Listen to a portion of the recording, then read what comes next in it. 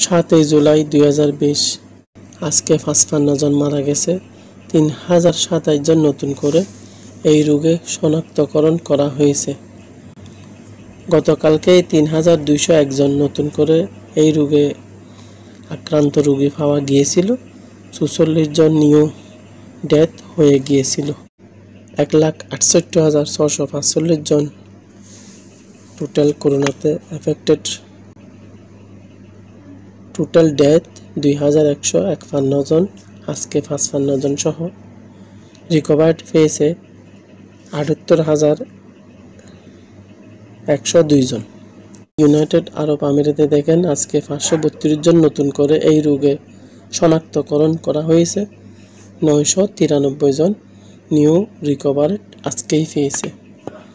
Total death হয়ে গেছে যে দুইজন বাহান্ন হাজার ছয়শো জন টোটাল কেসেস পেয়েছিল। তার মধ্যে বর্তমানে আছে মাত্র দশ হাজার পাঁচশো ষাট জন, তিনশো ছাব্বিশ জন টোটাল ডেথ হয়ে গেছে, আজকে দুইজন সহ। একচল্লিশ হাজার সাতশো চোদ্দ জন টোটাল রিকভার্ড হয়ে তাদের বাড়ি ঘরে ফিরে গেছে।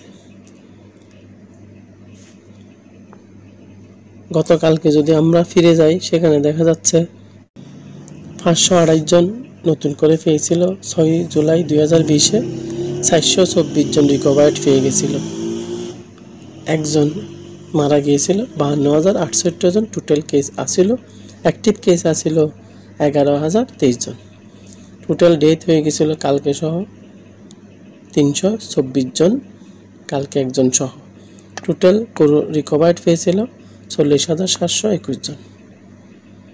এরকম সত্য খবর এবং ট্রু টিপস পাওয়ার জন্য আমাদের চ্যানেলটাকে সাবস্ক্রাইব করে রাখার জন্য থ্যাংক ইউ যদি সাবস্ক্রাইব করা না থাকে যদি আপনারা নতুন হয়ে থাকেন, আমাদের চ্যানেলটাকে সাবস্ক্রাইব করে আমাদের সাথেই থাকবেন।